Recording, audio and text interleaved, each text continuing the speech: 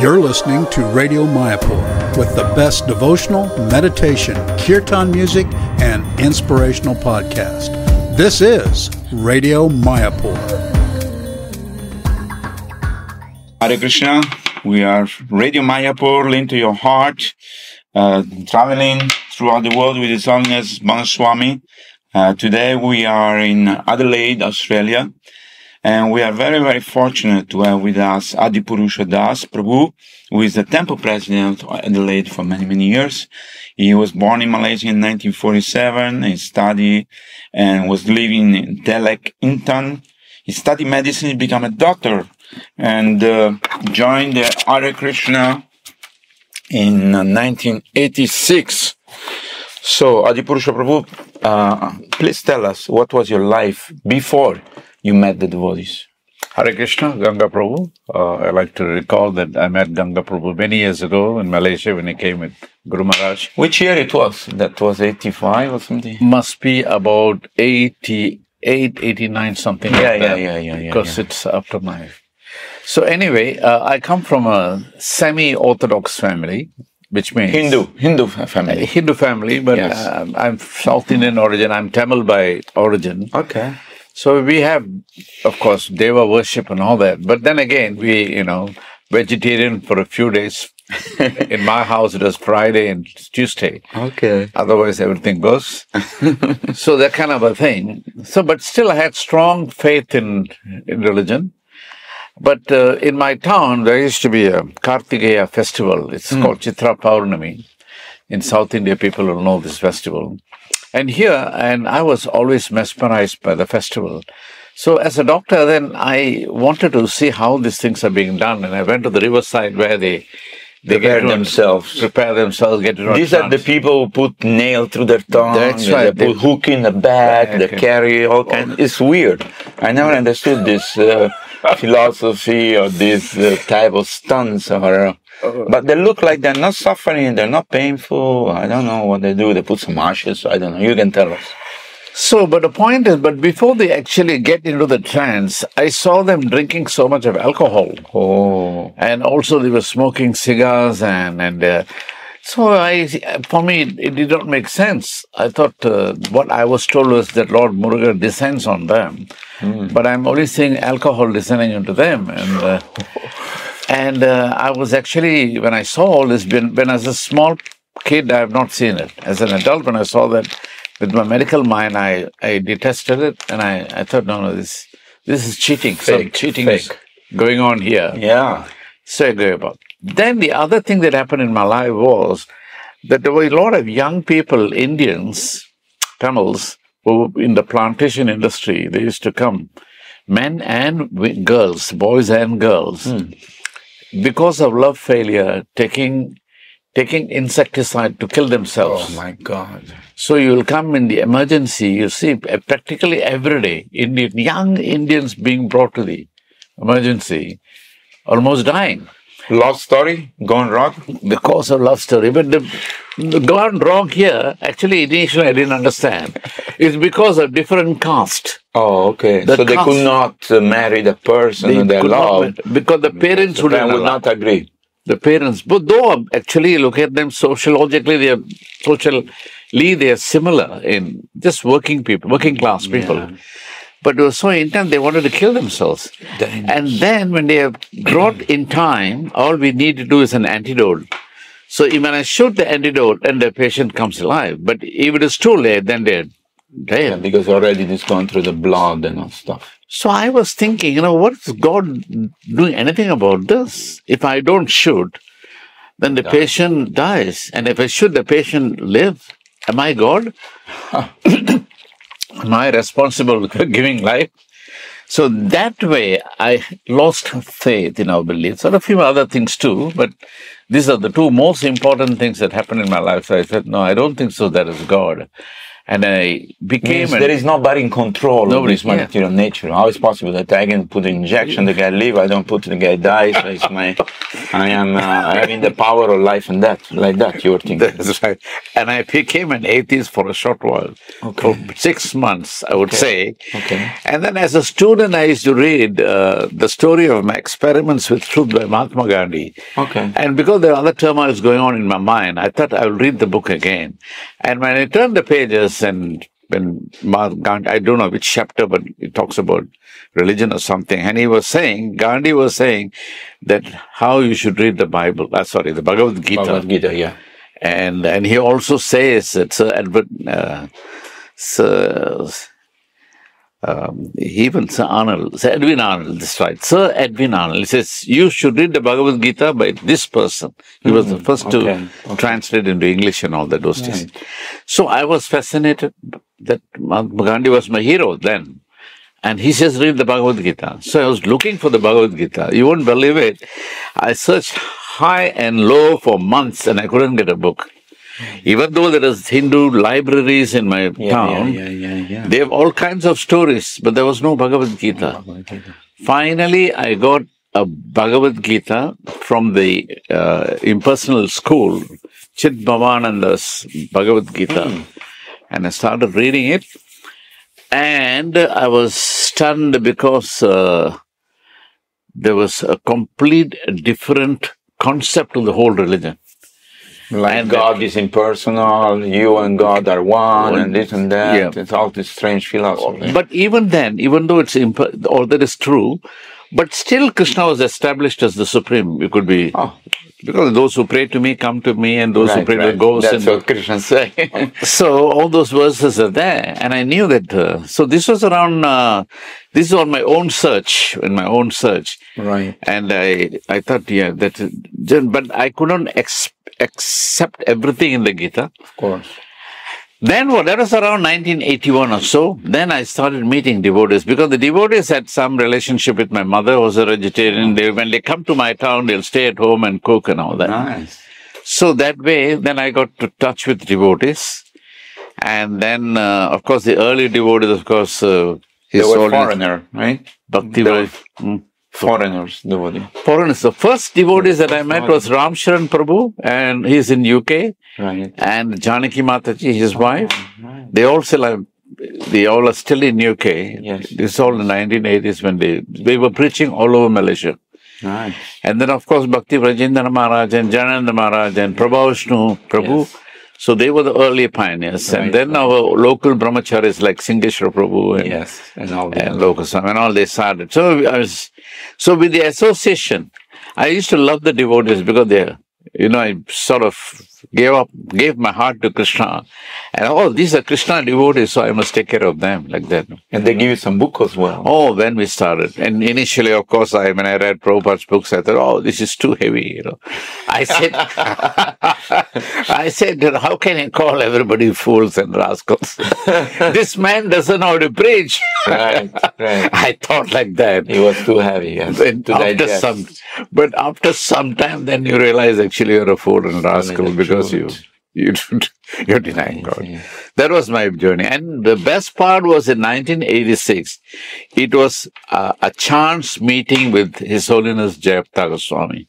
They were traveling from Kuala Lumpur, which is south, and they're going up to North Penang, which most of you will know.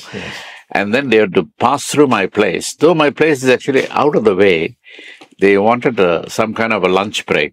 Right. So they came to my house, and first time I've never heard of Guru Maharaj. First time I saw him and big, burly, and I said, "Who's this man?" And you know, and that was my chance meeting with uh, His Holiness Jayapataka Swami, and my whole life changed. In uh, 1987, I organized the first Ratha Yatra in Teluk Intan, my town. Nice. I was not following any principles. It's all fascination for devotees and fas- fascination for Jagannathan. Enthusiasm. Just, yeah, that's. I said, I have to bring this festival to my town. Good. Like that, you know. So I think also that because you were a seeker of the truth, you were trying to read the Bhagavad Gita, but you know, you, you got maybe the wrong book in the beginning, but whatever. Mm. But because I think the Lord knows when each soul is coming to the point to, you know, to want to know more about him. Then he's making the opportunity to meet the devotees and everybody's life change. So that's, but you were a doctor for many years also. Yes. Tell us, tell us, you practice in Malaysia and Yeah, though after my training in India, I came to Malaysia and I was posted in different uh, parts of the country. What type of doctor? You're general doctor? I'm, I'm a general doctor, yes. General and so I was working in the hospitals, Mm. and these experiences in the hospitals. And much later, I I started my own private practice on my own. Uh, but religion has, has always been my interest. And when the doubts came, nobody could give me any proper answer. And then the Gita, of course, gave so many answers, which initially I could not understand. It took some time. Of course, the whole thing cleared up when I first met Guru Maharaj and, and the devotees, of course. Then so many of them, Baru Maharaj, and everybody was Yes, yes, visiting in regularly. And it was growing in Malaysia. But you think as a doctor, because you see many people dying, so you think, okay, now what's what's the difference between the this dead body, a live body, and what is the soul? You can't see it. What's the story, right? That's an advantage actually, you because when you talk about birth, age, disease, death, we always say birth, Yeah. age, and as a doctor, you see that. You see birth, you see age, you see disease, you see death all the time. That's On your job. practical, on a practical level every day. So it's an advantage. It may be a disadvantage also. For some people, they'll think that oh, this religion is all just waste of time. But for me, uh, it made a lot of sense. Well, let me tell you, because I grew up in Italy, in the West. In in Italy or in the West, you don't see any time dead body unless there is some accident, but they cover it with a white sheet. So you never see people dying. So you know, death is something far away. You never see anybody dying. And of course, sometimes your grandfather died. You're going to see that he's in the bed, but he's gone. Everybody says gone, it's gone, it's gone. So, but so you are like puzzle. Okay, what's the missing portion inside the body? What is the soul? We don't understand, and this has been uh, obscure from the regular Western society to see old age people that are somewhere, or they live with their relatives, or otherwise they are in, in some you know kind of institution where they take care of them. So you are like uh, you know when you come to India, I came to India in 1977, and then we went to Benares, and you see burning body, and like, what? what a shock, you know. And, and, then, and then you think, okay, I'm going to end up like this on the fire, you know. so you get a lot of realization, and uh, yeah. But as a doctor, I'm sure you have a lot of realization because you see a lot of suffering and people. So, but when you decide to come to Australia, That was uh, my children came to study. I have a son and uh, and a daughter, and both of them also Devotees. initiated by Guru Maharaj. So my son uh, came first, and then followed by my daughter. They both studying here, oh, and after studying, completing their studies, they they did not want to come back to Malaysia. of course. And uh, they said, no, we want to stay here. Then I said, oh, now what we are going to do? You know, we're going, we'll be here, you'll be Alone. there, alone. So they encouraged us, says, why don't you come, Come. to Australia? nice. I, that was not part of the plan at all. I was not thinking of, I was just thinking of concentrating in Yeah. hometown. Then that thing started, and then uh, so finally we made the big move. So we came to Australia. In which year it was? We came? came around 2004. We came to 2003 actually, 2003. More than 20 years. And and the first time in Melbourne when I met Guru Maharaj, he, took, he gave me certain things to do, Okay. and he wanted me to organize certain things. And that time I was not working here. I actually given up. I didn't want to work anymore. You were retired. Retired. Yeah. That then what happened was certain circumstances. Then uh, I thought if I can work, I can, you know, also get some money for, for preaching Whatever, purposes yes. and keep me occupied and all that. So anyway, then what happened was uh, we had to sit for the Australian Medical Council exam. We passed the exam. and- Because they don't recognize the Indian. no, no, they're very strict here. They're very strict. So you had to do another exam. Exam. Um, yeah. Which you were prepared for? Yeah, I mean, I'm not, I would, Not not, much not really, but you know, when You necessity is the mother of invention, Yeah, you correct. know, you have to do it, you have to do it. So we my wife is also a doctor, Lokanandini. Nice. So we both did it together and then started working for a while. And while we were doing that in Melbourne, we were actively involved in the services there. And then one day uh, they called me and said that there is some uh, issues in Adelaide. At that time I was in Melbourne. Right. There's some issues in Adelaide, and uh, would you like to go and help out? Uh, and so I, I, said, yeah, if you want me to do, then we can give it a go. Try. So we came here. The temple was uh, having a lot of debts at the time. It was about eight hundred thousand dollars. How much? Eight hundred thousand. Whoa! And uh, the whole place was, uh, you know, a bit of a mess. And uh, so we sorted all that out. Now, of course, you can see we've got a extension, yeah, yeah. new big building coming up and all that. Tell yeah. us, tell us about the extension because uh, I'm sure this is because the people who come mm-hmm. here. There is small space when you have festival, mm-hmm. and I saw the extension you done, which was very nice. We'll be ready by next year, mm-hmm. and uh, so the congregation loves this temple because you have also prasadam for them, going to the restaurant, and many preaching opportunity to people, mostly Indian, who are living around here. Some Australian also as well, but mostly Indian. You know, when they are outside of their country, they get lost, kind mm. of. You know, kind of what. they want to maintain their identity. Mm. But if they're fortunate, they come to our temple and then you mm. connect them to the Lord. So tell us about this extension. Uh, so before that, the biggest attraction in the temple is Radha Shamsundar. Of course. This most beautiful form, and many people have commented. Gaur Govinda Maharaj, when he was here, he spent some time here. Mm. He loved the deity so much that he made a replica of this deities back in Gadeigiri. Mm. Same thing, exact size. Mm. And uh, Indradyumna Maharaj also has commented on the beauties of this uh, thing, my Guru Maharaj, and so many people. Yes. Uh, um, Bhakti Siddhanta Saraswati Swami, Bhakti Siddhanta Swami, the American yes, Swami. Yes, yes, he, he, he loves these deities here so much. So anybody who comes here takes a look at the deities, they are very fascinated and they always keep coming back.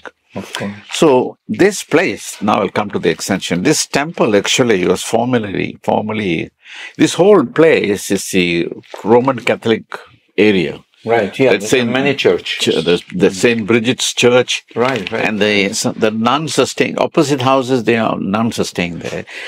At one time, this is a place for the nuns. Oh. So there's a chapel where the where our temple hall is. That's a chapel. That's a chapel. Yes. And the where the restaurant is, their card room where right. the present restaurant is, is their right, card right, room, and all the rooms you see like like pigeonholes upstairs. Yeah, all of them the nuns. Even this room where I'm staying, there's a box there. I can see. Uh, and Mara said they used to keep their rosary for their prayers. We have similar type of uh, monastery in Italy also. When oh. we go and visit many ancient monasteries, same room like this, one table, one chair, you know, and a small box, and people they go every day to the service whether they were priests or they were nuns. You know, mm-hmm. this is this uh, because this uh, was a life of austerity for them, living separate from society and being provided with all the facility for them to be spiritual.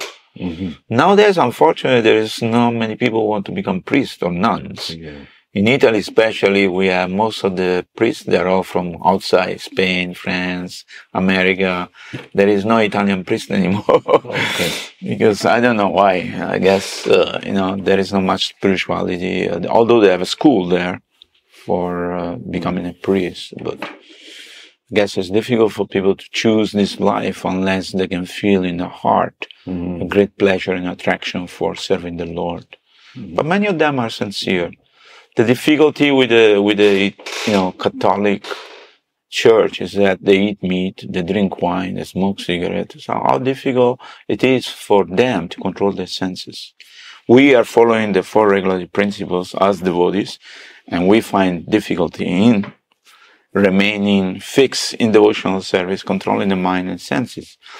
But for them, it's even more difficult. Mm, so but tell us what was the most wonderful time in serving here as a temple president and what were the challenges for you? The initial challenge, like I said, was the, the heavy uh, financial burden. Yes.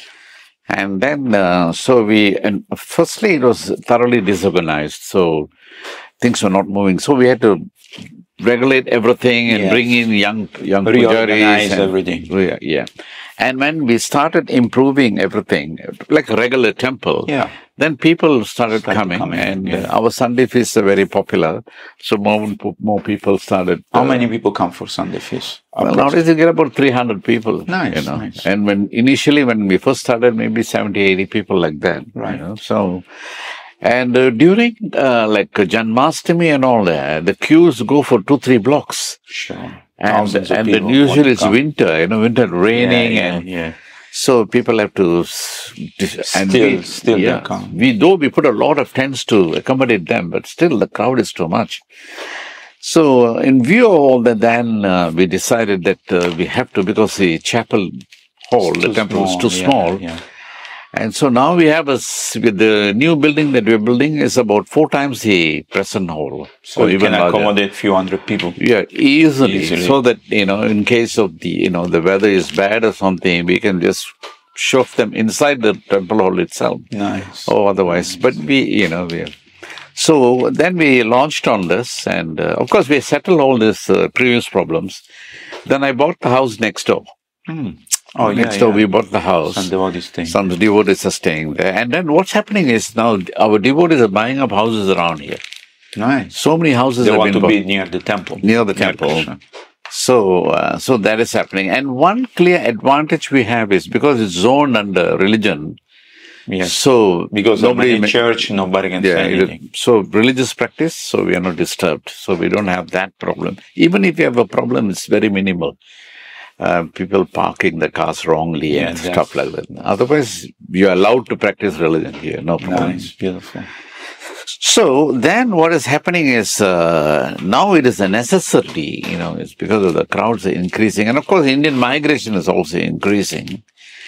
And uh, uh, so the challenges, uh, other than that, big challenges means uh, because we we are dependent on and pujaris from India, Mm, yes. you know. So though we are initiating, second initiating, and all that uh, altar service and all that, but still to do some massive cooking, so Jod is also doing Yes. uh, some other responsibilities. So. And so visa is a problem, not like those days. It was easy. Now they they're putting. Uh, We don't have a special visa for religious, uh, like a church. The- we have, but two years plus two years. That's know. all. So temporary visa. Oh, I see. So that is the problem. And but it's okay. We can. Uh, we're still doing it, Right, and more and more volunteers are coming in and doing a lot of uh, things. Yes. yeah. So, uh, so festivals. Unfortunately, you won't be here. Otherwise, For Gaur Purnima, Gaur yeah. Purnima, you can see the crowds. You know, Yeah. a lot of volunteers. you know, so Nice.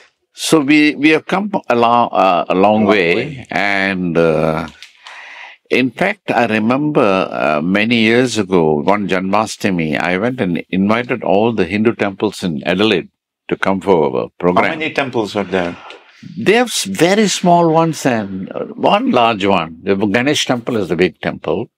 Others are all There's some Shiva temple, some Ganesh, some. some. Uh, Balaji is- temple is there? Balaji temple? They are all small, but the um BAPS, what you call Swaminarayan, Oh, Swaminarayan. they have two, which is also quite fairly large. Uh, but um, but the anyway, when we invited for Janmashtami, they all came. Then there was nobody celebrating Janmashtami. Oh. ISKCON. So the whole town will come to our temple for Janmashtami. and these people came and they saw the crowds, Ganesh temple and all that. They saw the crowds. Oh, wow. Said, we can do this? If these people can put Krishna and make some money, why don't we make some money? so they always started. think about business. Not so the they started Janmashtami. And the first year after that, there was a drop in our crowd. Oh, And then I said, what happened? Suddenly, you know, then- then you tell you, oh, they all, everywhere. everybody is celebrating now Janmashtami. now, what happened is, though with all that happened, but we have a program that goes on from five o'clock to past midnight, and you know this. feast before, feast after, and stage show. You- we got the whole works. Of course. They don't know. They they just decorate the deities. Yes. That's all they get. They just keep some We deities do and the decorate. them. bhajan, we do the kirtan, we That's give the right. We- lecture. we got everything. Full package. full package. So what has happened now is they know that yeah, others may have a show, but the big show is in ISKCON. Of course. So now they you still get the big crowds as usual. And maybe after coming here they might go. You know that uh, may happen, but uh, we have the crowds with us. Nice.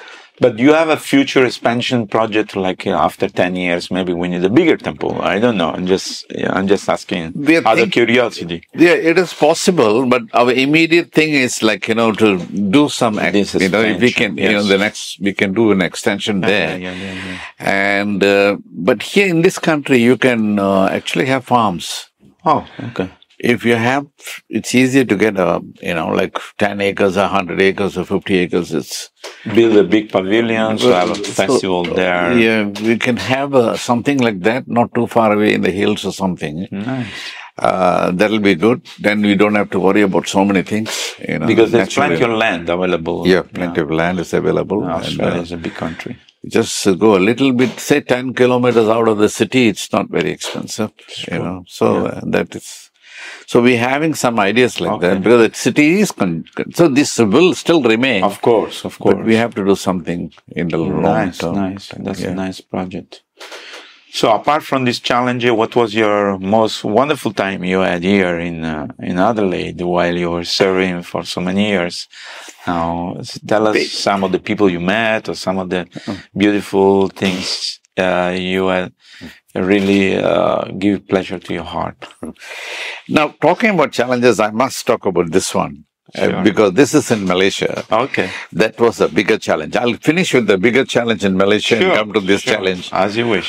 And uh, Guru Maharaj used to come every year for our Ratha Yatra. And Yes. then one day, once, one Guru, one Ratha Yatra, when, when we were traveling, he showed me in the car, he showed me, you should buy land here.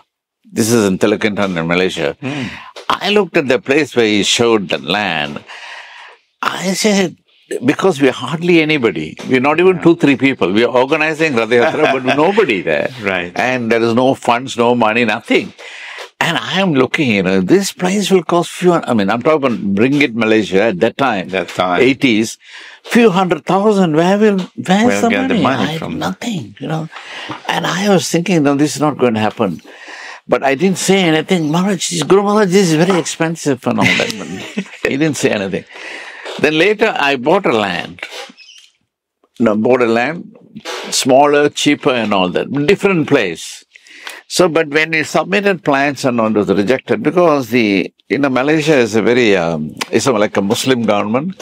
Yes. So they're very, very strict about anything you do, like uh, temples and all that. So they, was- and the, the diagram I had was like Navdeep style with nine domes and all that. Wow. So it's rejected. And uh, so finally we sold the land. And uh, then we bought the land. There suddenly this happened. All I don't know how it happened. Somebody came and told me that that a- land is that same. That's where Guru Maharaj showed showed directions. Said, you must land. buy here. Wow. That same land came to us, and one and a half acres, and it was five hundred thousand. But still, by then we, We our congregation bit, and we already had funds. And so we and then we sold that land. We sold for a profit, and then we got that you know one and a half acre land. Though we bought the land, and then now the building construction was a big problem. I tried so many ways, seeing ministers, what not, trying to get the approval. So finally, what we did was we built a big, massive mansion, like a house, saying that is our a house. house. And then when everything was approved, then we just modified it, and then- and we had the you know that was in the it's around the year 2000 or 2001 when the massive uh, uh, opening. So that was a big challenge, and uh, this constant battle with the government. Yes. And uh, you know, finally, we somehow other sneaked our way through, and so we put uh, we have deities, the Gaur deities, Oh, Sri Sri Dayal Nitai Gaurang Hari, that is Beautiful. Guru Maharaj named The name. And so they are there very nicely. Prabhupada actually had come to my town There are four places I visited in Malaysia, and one is my town. My town is a very obscure town. Out of, but Prabhupada had come there and stayed one night. Nice. So something we, we knew something will happen here. We just have to be patient, and something did happen. So that was Malaysia. Here, uh, the thing was initially there was no proper preaching. Uh, you know, the thing was not going. So the preaching wasn't there. Uh, the festivals were poorly organized. Um, the, there was acute shortage of funds. No funds because Yeah, everything was broke. the big death. when we were, we were having some function, suddenly the electricity board came and Cut off. cut off the electricity. oh my I God. said, what's happening? Didn't, didn't pay bill. So, you know, the- we were at that, that level at that time. So, and I was working. I was pumping, uh, by God, Krishna's whatever. mercy, I was allowed to work and, and give some money and all that. But everything changed. And uh, in, within about three years, there was order. Everything was everything was being done properly, and the crowd started increasing from you know more and more people, and people started appreciating and like that. And then the challenge was, of course, too much people. Even like a, like a Sunday feast, for instance, you know they can't get into the halls. so everybody's the halls are packed. Outside is packed. They can't get in to see the deities. So so then we had to think of something bigger, and that's why this plan to put up this extension. Yes, Beautiful. with blessings from Guru Maharaj. When I got the plans, we took it to Mayapur and gave it to Guru Maharaj and showed it. So we can say that in the course of your life, your faith in the Lord increased because they say, man proposed, God disposed. so we have a plan, plan A, B, C, D, and uh, Guru Maharaj tell you to do something, and Prabhupada was there. How everything, certain point, manifests. Oh yes, Right? Yeah. So then your faith in your heart is now firmly fixed that whatever has to happen will happen by the blessing of the Lord. And we are just his servant and we are just trying to do our level best. we, we, we, So that's we don't wonderful. understand God because of ignorance, but you know, association with devotees, devotion is the biggest thing for me, especially Guru Maharaj, you know, how and uh, how is completely we have uh, lost ourselves in his hands, you know, that uh, Wow. that is amazing. Yes, that is a one spiritual journey from one end to another, and and and uh, and subsequently, I was the first to start uh, doing this, and then I, my first student was my wife, and then I started preaching to my sisters and brothers and all that, Nice. and they all became devotees. And then uh, my parents, of course, my parents was difficult. My mother was easy. Mother was she was a vegetarian long, long time, and Pious woman. she was yeah, very pious, and she used to cook for all the sannyasis, Subhak, name it, much. Bhakti So many of Bhakti Maharaj would, loves to come and, you know, because she will cook the, the Sri Lankan Tamil style, she will cook. Nice. So, and uh, so Swami, Nice. and all that, everybody used to come and, so she was, my father was uh, uh, very, he's not, uh, he's a very staunch Hindu, uh, but he, he will say everything's one same, every, you know, that way. Then I had to tell him, no, no, the scriptures are saying differently. Whatever way you go, you go to back to God at whatever way you take.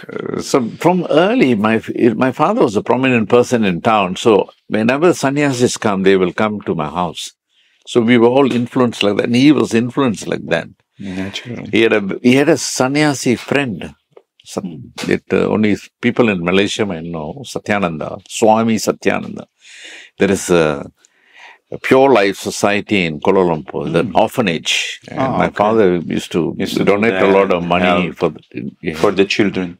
Oh, nice art. Yeah, So- that's good. So he was influenced by so many of these uh, Nice. Mayavadi sannyasis. And so, and then finally they, they all both got initiated. I said you must chant and they met, of course the Guru Maharaj was the key figure.